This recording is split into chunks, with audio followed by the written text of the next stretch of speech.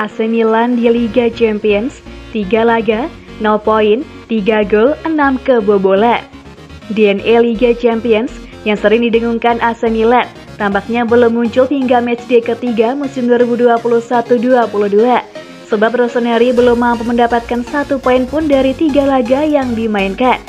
AC Milan berjumpa Porto pada matchday ketiga, Rabu 20 Oktober dini hari waktu Indonesia Barat. Pada duel yang digelar di Stadion De itu, anak asuh Stefano Pioli kalah dengan skor 1-0 lewat gol Luis Diaz pada menit ke-65. Milan memberi perlawanan sengit pada tua rumah. Namun seperti pada dua laga fase grup sebelumnya, Milan gagal mendapat poin.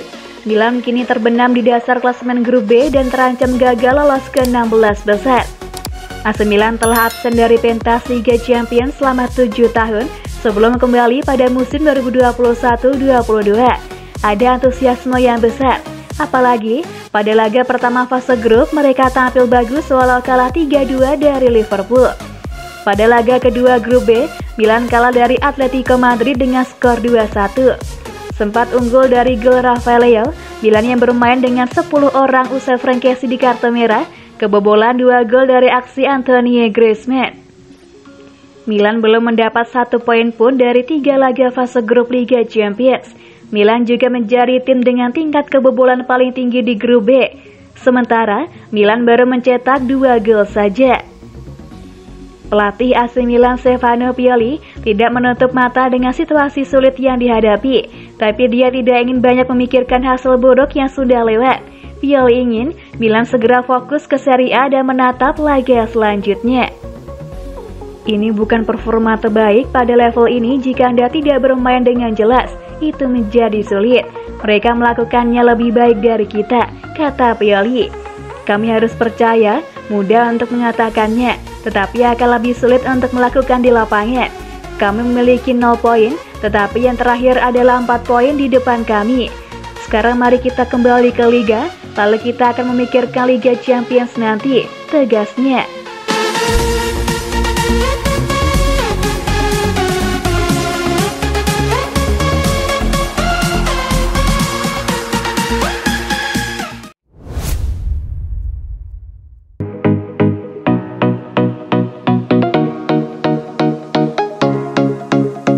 Gol Porto harusnya tidak sah Gol kemenangan Porto ke gawang AC Milan dalam partai Liga Champions 2021-2022 Rabu 20 Oktober harusnya tidak disahkan.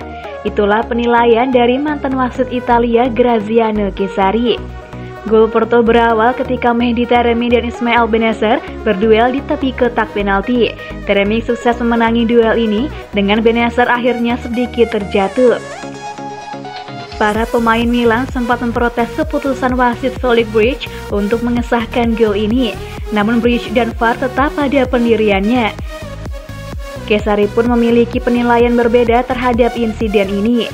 Beneser jelas melihat ke atas saat bola turun.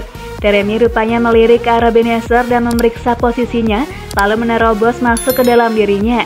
Dia hanya tertarik pada pemainnya, bukan bolanya, ujar Kesari di Sport Media Set. VAR seharusnya membantu wasit karena ini akan dihitung sebagai kesalahan yang jelas dan nyata. Lanjut Kesari.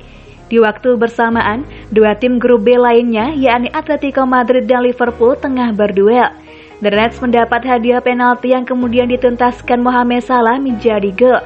Menurut Kesari, ada kemiripan antara dua insiden tersebut. Itu mirip dengan penalti yang diberikan kepada Liverpool hari ini melawan Atletico Madrid, di mana sang pemain lagi-lagi mengabaikan bola dan langsung menyerang lawannya, tutur Kesari. Ini adalah dua interpretasi yang sangat berbeda dari insiden serupa, tandasnya.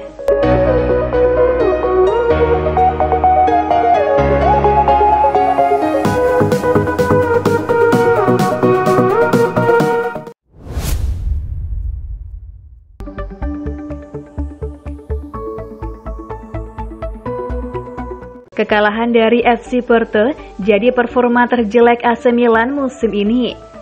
Zlatan Ibrahimovic mengaku jika kekalahan 0-1 AC Milan atas FC Porto merupakan penampilan terjelek Rossoneri di sepanjang musim 2021-2022 ini. Terkait kekalahan ketiga AC Milan di UCL tahun ini, Zlatan Ibrahimovic menyebut jika ini merupakan performa terburuk timnya di sepanjang musim 2021-22. Jika mengacu dari tiga laga yang sudah kita mainkan, ini merupakan performa terjelek kami. Kami memang tidak layak untuk mendapatkan poin malam ini. Aku ibarat kepada Sport Media Set. Kita harus ingat kembali bahwa ini adalah penampilan perdana kita di Liga Champions dalam beberapa tahun. Para pemain muda kami bisa memetik banyak ilmu malam ini dan terus berkembang ke depannya.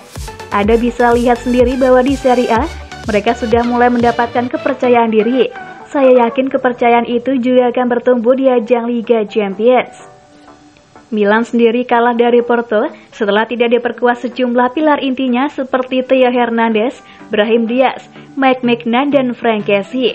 Namun Ibra tidak mau menjadikan itu sebagai dalih dari kekalahan timnya dan memilih untuk bangkit dari tiga pertandingan tersisa. Kita memang kehilangan sejumlah pemain inti, namun begitulah sepak bola, lanjut striker 40 tahun ini. Masih ada tiga pertandingan lagi, musim lalu kami berjuang sampai akhir untuk bisa lolos ke kompetisi ini, dan saya yakin kemenangan pasti akan segera datang, pungkas Ibrahimovic.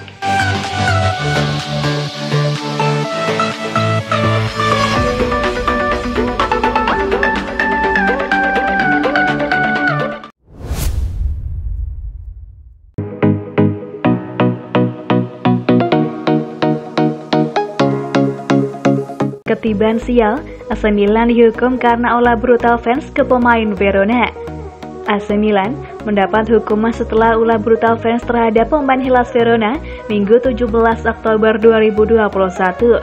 Sebuah insiden memalukan menodai kemenangan AC Milan di pekan ke-8 Serie A Liga Italia di San Siro. Pemain Hellas Verona Antonin Barat menjadi sasaran laser fans Rossoneri dalam laga tersebut.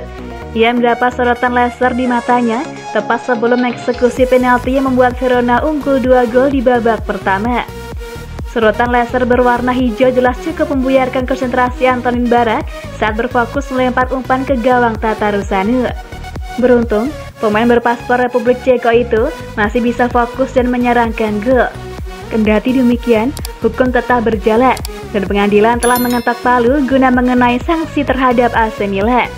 Dikutip dari Milan News, klub mendapat hukuman berupa denda sebesar 10.000 euro atau 164 juta rupiah atas kejadian tersebut. Dalam hal ini, AC Milan benar-benar sial pasalnya tim baru saja menelan kekalahan di match di ketiga Liga Champions 2021-22.